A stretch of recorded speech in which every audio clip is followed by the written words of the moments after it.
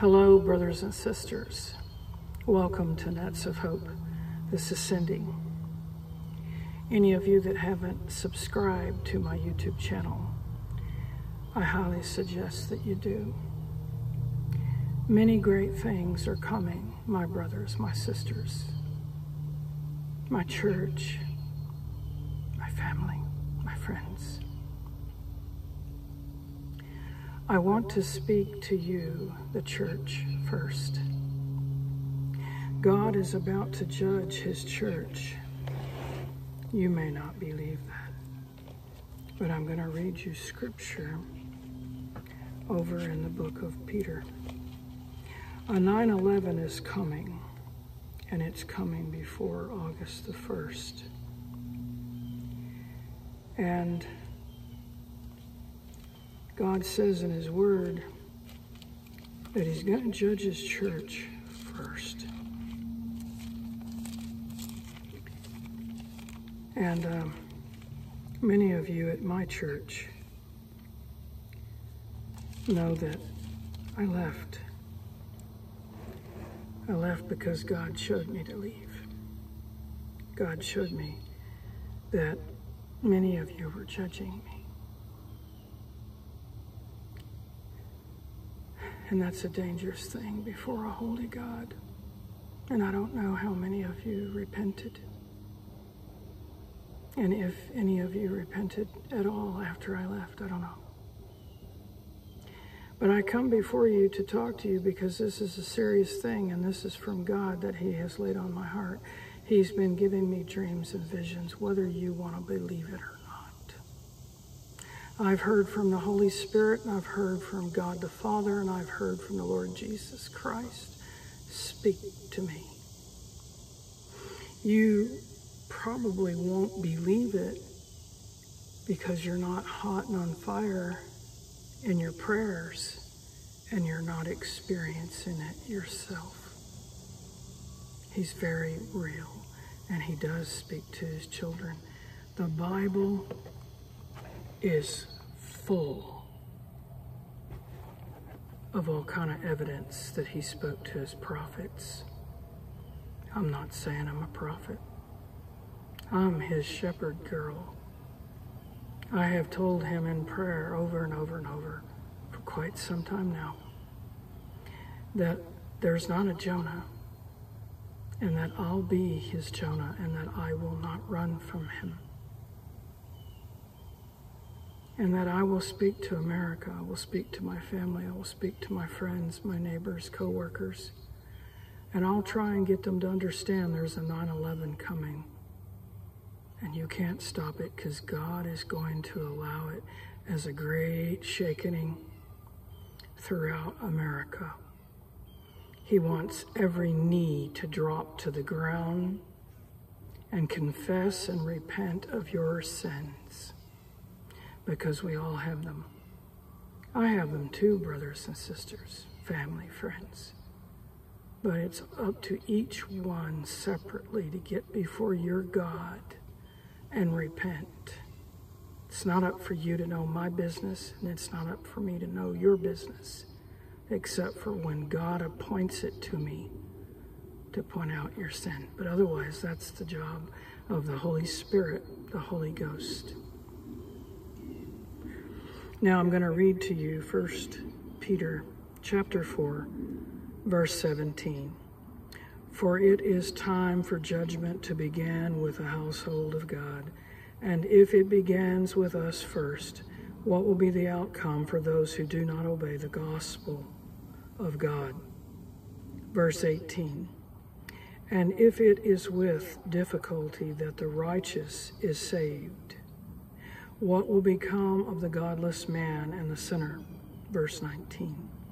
Therefore, those also who suffer according to the will of God shall entrust their souls to a faithful Creator in doing what is right. Now, then, as I speak to you, church, I want you to know, each and every one of you that have offended me, that have sinned against me, including pastors you heard me. You're guilty. You're not free of guilt. You are guilty.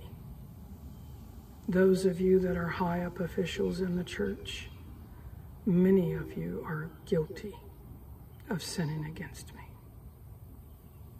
God gave me a dream and showed me to leave you as a church, the building.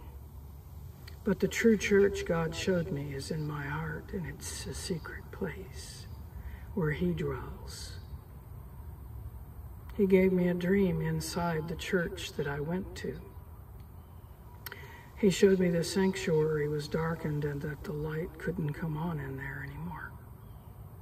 And all of you were missing None of you were in the building, not one. I don't know what happened to you. Wasn't a rapture, trust me. But what he did show me was to go into the fellowship hall. And when I went in the fellowship hall in this dream, there were lots and lots of people in there that would listen to me. I didn't know any of them, never saw them before in my life. I was stunned in the dream and wanted to know where is my church. God wouldn't show me where my church was. I looked all over for them in all the places that had been remodeled. Couldn't find them. I opened doors. I looked everywhere. I couldn't find them. And then all of a sudden I sat down and I realized they were not there. And I began to grieve because that's what he wanted me to do. He wanted me to grieve so deeply. And I went into the Sunday school room that used to be mine, and there was a white sheet there. And I ripped my clothes off. I've never done that before in my life, and I had such power to rip them off. That was the Lord's way of helping me to grieve about that church, to let that church go. It's a sad thing when your own pastor doesn't call and wonder where you're at and try and get you to come back. But it's because he sinned against me too. So he was guilty. He couldn't do that. But all you high up officials didn't call me either. And the ones that I did talk to, you wouldn't listen. You wouldn't listen. So inside this dream, I ripped my clothes off, cover myself in a sheet, and I wrapped it around me, and I go sit down. As I'm sitting down grieving in the dream deeply, I heard someone preaching, and I thought, well, they are here. And I got up and I started trying to figure out where, where the preaching was coming from. I had to walk over to the wall in the dream and when I walked over to the wall in the dream, I, it kept getting louder and louder, and I put my ear against the wall. And all of a sudden, the preaching that I was hearing was me. It was me preaching love and forgiveness and a living hope. It was me praising God and worshiping God on the other side of that wall. And then I woke up. And the people were praising what they were hearing from God, from God's shepherd girl. They were so worshiping Him. But when I woke up, He showed me your sanctuary is a secret place. It's hidden. It's hidden in my heart. It's a hidden sanctuary. I'm asking you today, brothers and sisters in Christ, in the church that I used to go to, and many of those of you that are not in that church, but you've been family to me in Christ, and you've been dear friends, and some of you have just slipped off and said, Man, she's crazy. She believes in a planetary object that I've showed you pictures of, showed you that it was in the heavenlies. But it, cut, it kept disappearing on and off throughout the years. You couldn't explain that, but I could. It was in its orbit. It wasn't time for it to come. It's the red dragon comet listed in Revelations 12:4. It's bigger than Earth by seven times. God has showed me all these things. The Holy Spirit spoke to me and said, The comet, it is the devil's number. That concerned me, and I said, What do you mean? He helped me to find a video on YouTube from a son of his named Gil Broussard. He has a YouTube channel. It's called Planet 7X.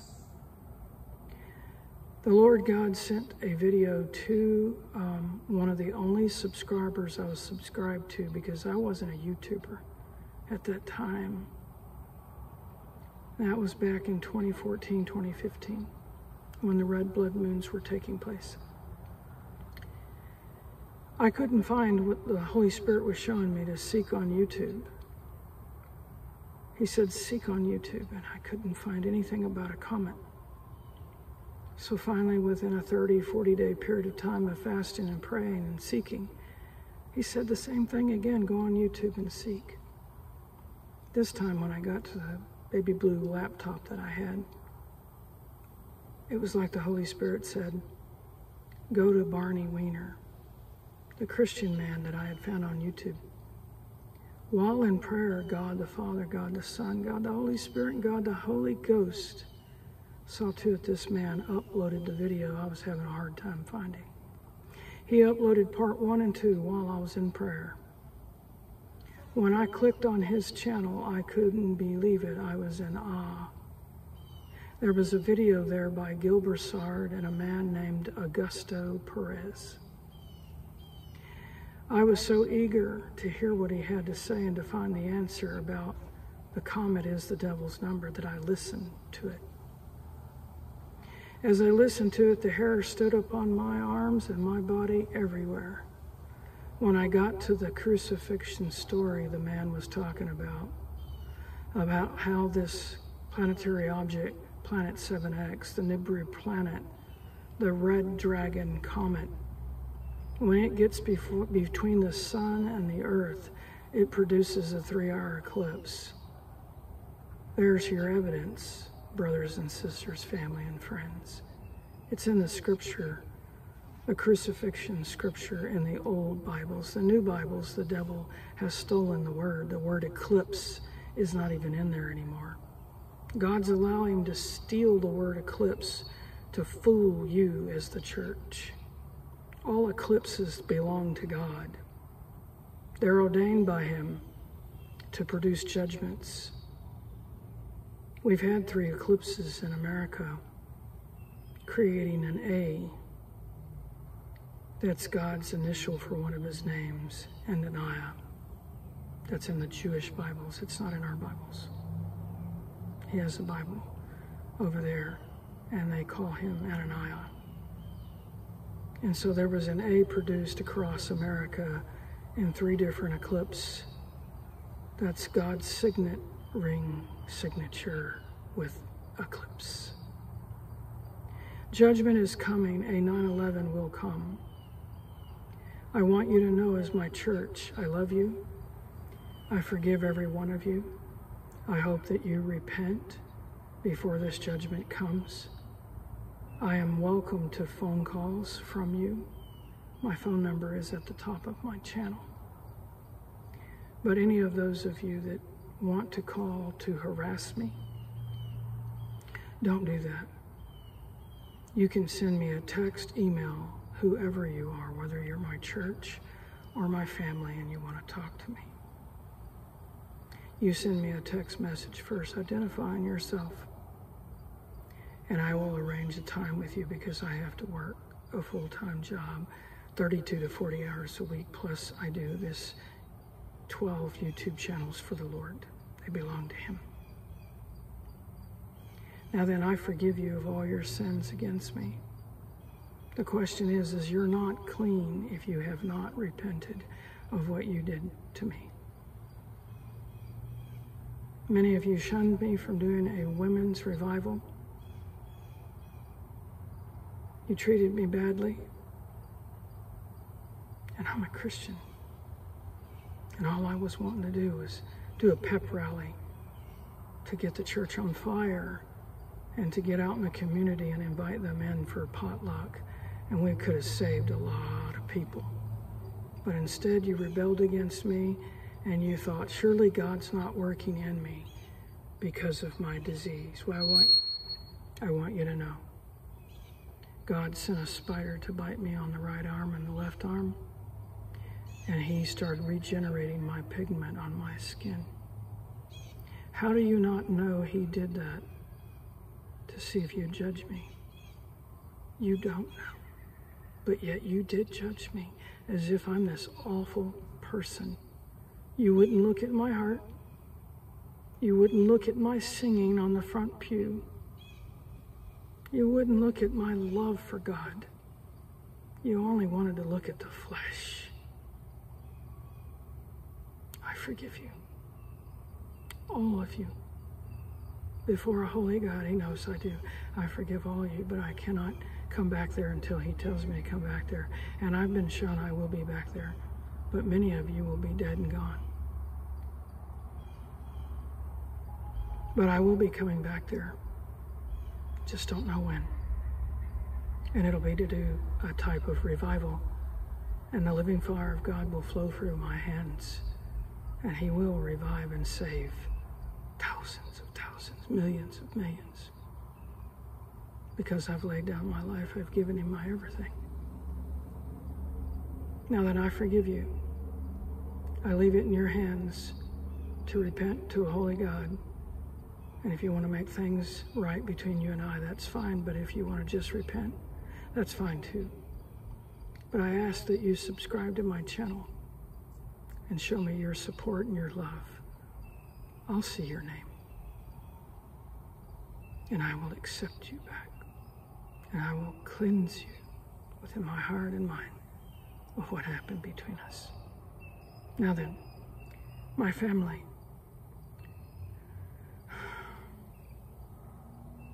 Many of you are living in sin. And I'm encouraging you now. Come out of that sin. Repent. Those of you that live in Houston, Texas, I'm concerned about that place. I've been shown it will be destroyed, but I don't know when. I, don't, I do know that the three days of darkness will come soon. Just don't know exactly when. But when they come, the tail of the comet is the most giantest, largest bolt of lightning you've ever seen. It will whoop the fire out of Houston, Texas, and it will pulverize it and destroy it. It's a bad place to live. It's a Sodom and Gomorrah because of the sinful communities that live there. And they prey on people that are not like them and they try and make them like them. You know what I'm talking about. But, dear family, dear friends, those of you that are living with a man or a woman and you're not married to them, you're committing sin in the face of the Holy God. You get with your God and you repent and you do the right thing. And if you want them to be your husband or your wife, you get married and stop living in sin. Repent. Or I'm very concerned about judgment coming your way. Those of you that are doing all kinds of other sins, secret sins, pornography, masturbation, lusting after Playboy book, Playboy, Playgirl stars, looking at the pictures and then masturbating. That's called self lover. And you're really creating adultery with those people that you're looking at. Repent. Anything that the holy angels do not do, we should not do. Anything that heaven does not do, we should not do. And if we do do them, the Lord Jesus Christ died that we might all be forgiven and cleansed by his blood. I'm making these videos because I'm fixing to go viral. The Lord has done showed me how to go viral now. YouTube is blocking my videos from getting out there. I should have millions of millions subscribed to my channel, but the Lord showed me they're, they're blocking me. That's why there's only an average of 50 to 60 people, is those are people they've allowed to watch my channel.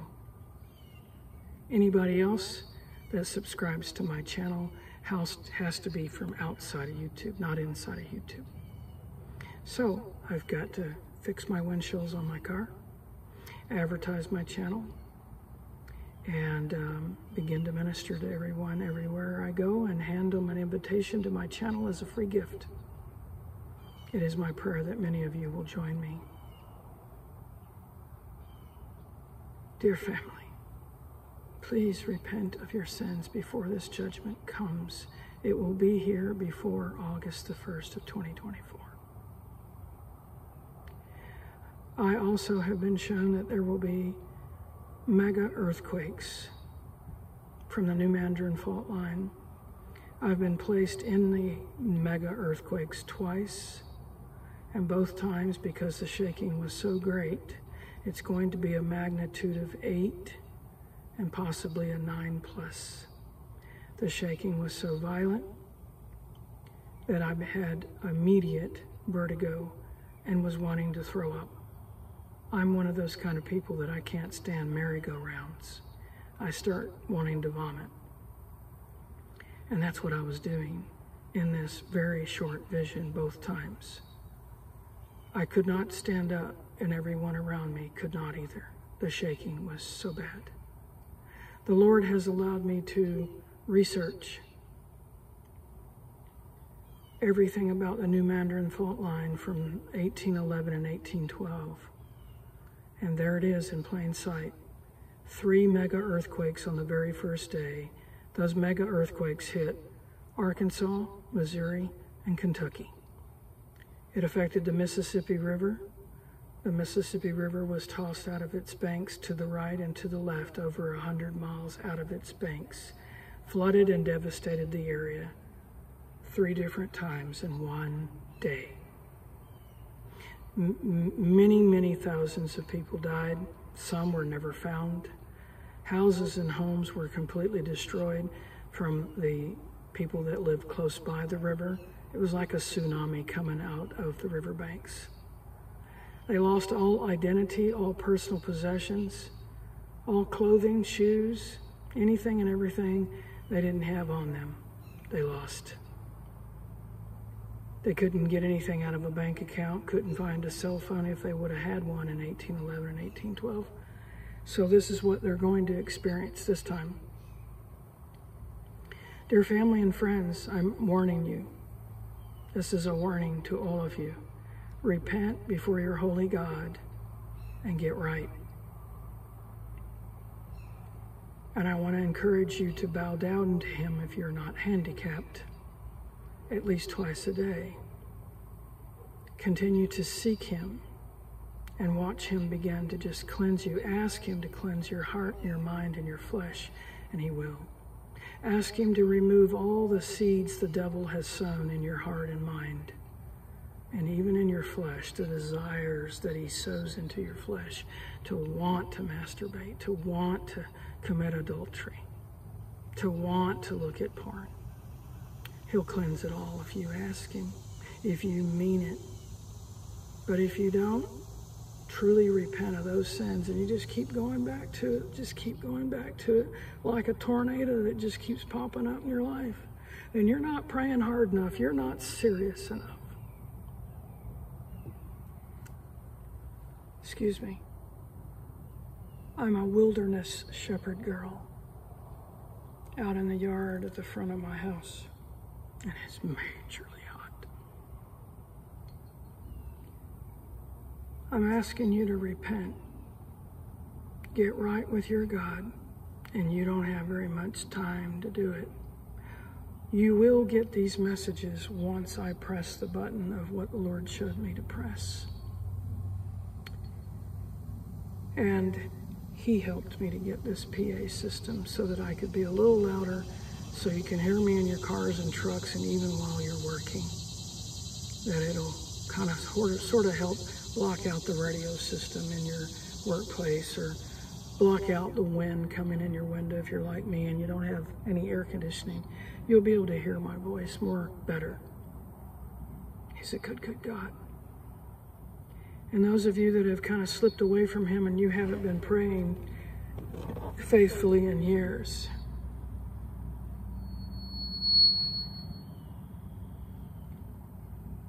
America, my brothers, my sisters, my family. Remember what nation you live in. It has become a nation of Sodom and Gomorrah. There's so much sin here. And we're fixing to have to endure the judgment that's upon those that are wicked. But if you turn your life around, He will watch over you, care for you, protect you, and He will see to it that famine does not come to your door. Question is, is are you serious enough to want it? I assure you that the grocery stores are going to start being more and more and more without food once the earthquakes start. Once this war starts, it will shut down all trucking. Everybody will wipe out the grocery stores, and this will all happen before August the 1st. You can believe me or not, but when you wait to see if it's going to happen, it'll be too late for you, except for repenting and what little food you do have. The Lord God can send forth a multiplying angel, and He can multiply the food that you do have because you finally did turn and repent. Those of you that are friends of mine, dear friends, and you've just kind of like walked away and you've said to yourself, she is crazy. She talks about the planetary object. Many of you are family and friends and wouldn't even call to say Happy Thanksgiving, Merry Christmas, Happy Birthday. You just wanted to keep thinking about, yeah, she's crazy. You betcha. I'm crazy in love with the Lord Jesus Christ, God the Father, God the Son, God the Holy Spirit, God the Holy Ghost.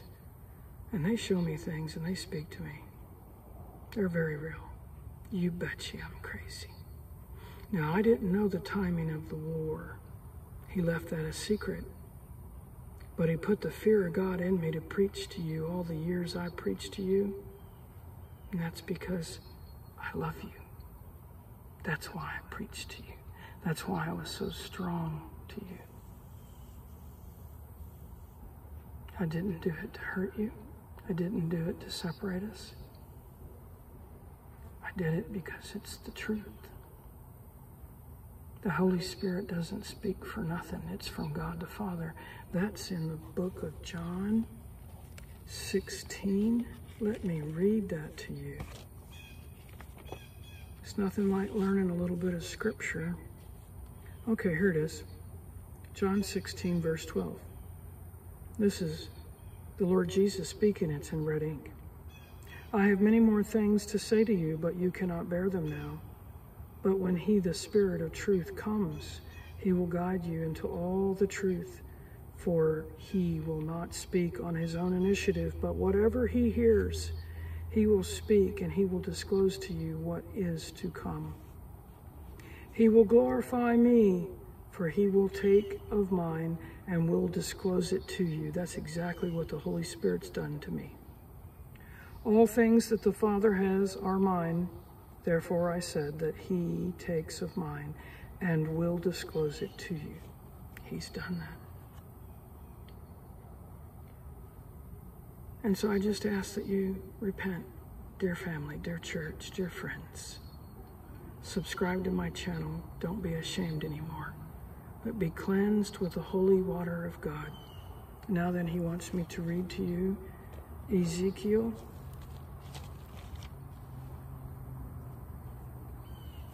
Thirty-two, I believe it is. Nope. Thirty-six. Sorry. Ezekiel 36, verse 25 and 26. Here I will share it with you. He can do a mighty work in your heart. This is what he does for those that he saves. and for the sons and daughters of God that truly repent.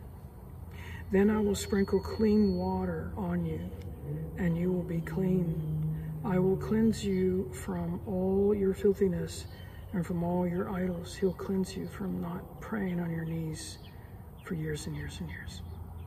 He'll cleanse you for just throwing in the towel and being lukewarm or cold or warm.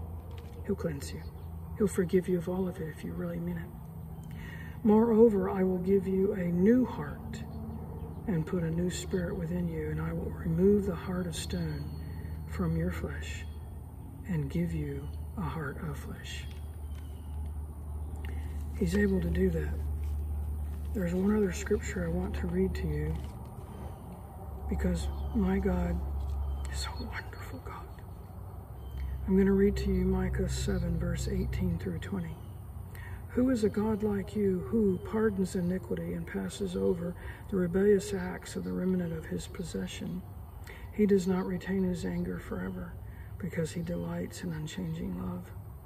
He will again have compassion on us.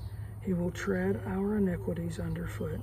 Yes, you will cast all their sins into the depths of the sea. Then, verse 20 you will give truth to Jacob and unchanging love to Abraham. Now, Abraham sinned against God. He mated with his servant to try and have a son that God promised him maybe we would have, but he told him the promise was with him and Sarah, not Hagar. So God forgave him. And the Lord Jesus Christ came from Abraham's seed so that he could be born among men. Anyway, you will give truth to Jacob and unchanging love to Abraham, which you swore to our forefathers from the days of old. Now, then, one other thing the Lord wants me to show you is that He's got such compassion, such love, but many of you are bitter, and I don't know all the answers, but I've got sickness and disease too. So you're not the only one, many of you that are angry at God because He hasn't healed you. Well, I stand with you on that, but I haven't thrown in the towel. I know He will heal me. He's already healed my feet. I had plantar fasciitis, and now my feet don't hurt no more during work and after work from the pain that I had four years ago. He's healed my feet. I'm going to read to you Jonah 4, verse 11. Should I not have compassion on Nineveh, the great city in which there are more than 120,000 persons who do not know the difference between their right and their left hand, as well as many animals? Those of you that use the word GD, you know what I'm talking about. You use God's name in vain. Those of you that use the word holy, and you talk about anything but God, you're using the word holy in vain and you are in danger of judgment. Repent and ask the Lord to help you to stop saying that. You say it habitually, loosely, and freely. You're in danger of judgment. I love my country. I so love my country. I don't know why that speaker screams when I hold the flag up. It concerns me because God knows she's a stench right now. Sin has gone rampant, and the true church has been praying, Lord God, help us. Food is high, bills are high, utilities, everything, gas. And we've cried out to him for help. And we said, Lord, do whatever you need to do to shake America and get these to repent, bring forth the spirit of repentance, that you might save them, that you might not damn them to hell.